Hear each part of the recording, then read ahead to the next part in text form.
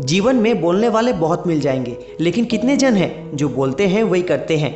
आप एक बात समझ लीजिए, जो ज़्यादा बोलते हैं, उनके बातों पर लोग कम ही विश्वास करते हैं। और यही सत्य है, वो कहते हैं ना action speak louder than words आप जितना लाइफ में काम करेंगे, लोग उतना ही आपसे इंस्पायर होंगे, उतना ही आपसे अट्रैक्ट होंगे, आप पर विश्वास करेंगे।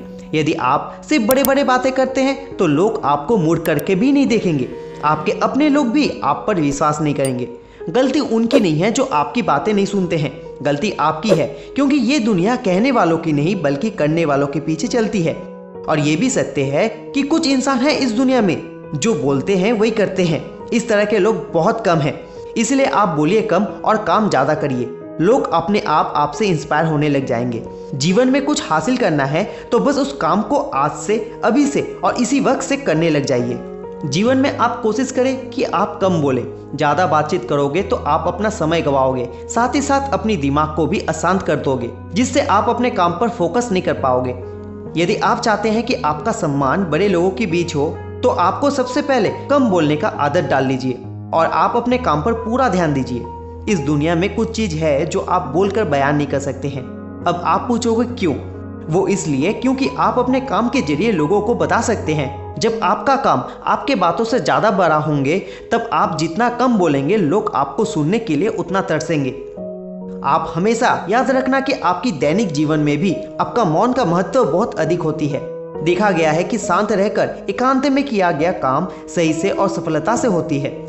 अगर आप एक स्टूडेंट हैं तो ध्यान लगाकर पढ़ाई करने के लिए आपको एक शांत और एकांत वातावरण की ज़रूरत होती है। उसी प्रकार, यदि आप सिंगर हैं, या फिर एक्टर हैं, या फिर आप किसी भी फ़ील्ड से क्यों ना हो, यदि आपको सफलता प्राप्त करनी है तो आपको मौन रहकर, एक शांत वातावरण में जाकर अपने काम पर फोकस करना होता है। कोई भी काम शांत मन से किया हुआ काम हमेशा सफल होता है। और वही काम यदि हम अशांत मन से करें तो वही काम कभी भी सक्सेस प्राप्त नहीं कर पाती है। इसी तरह से सबसे ज़्यादा शोर हम अपने आसपास, अपने बोलचाल से उत्पन्न करते हैं। अगर हमें वाकई ही शांति चाहिए तो हमें चाहिए कि हम अपने अंदर की कला को, अपने पैशन को समझे, अपने आप को समझे कि हमें जीवन में क्या चाहते हैं, क्या करना चाहते हैं। तो अवश्य ही हम अपने सफलता के ऊंचाइयों को छू सकते हैं, क्योंकि हम अपने आप को जान चुके हैं।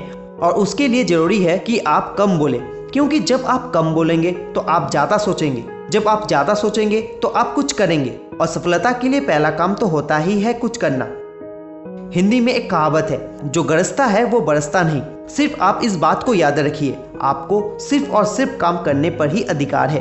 बातें तो बाद में भी होते रहेंगे। आपका काम आपका पहचान बनेगा। सो दोस्तों, आप बातें कम और काम ज़्यादा करने लगे। धन्यवाद। सो ये था आज की स्टोरी आपको ये वीडियो कैसा लगा? कमेंट सेक्शन में जाकर बताएँ। अच्छा लगा होगा तो लाइक कीजिए और शेयर करें अपने दोस्तों को ताकि वो भी मोटिवेट और इंस्पायर रह सके। सब्सक्राइब करना ना भूलें। मेरे आने वाले नए वीडियो के साथ जुड़े रहने के लिए बेल आइकन को दबाएँ। अभी के लिए इतना ही। मिलते हैं अगले वीडियो में। थैंक यू जय हिंद।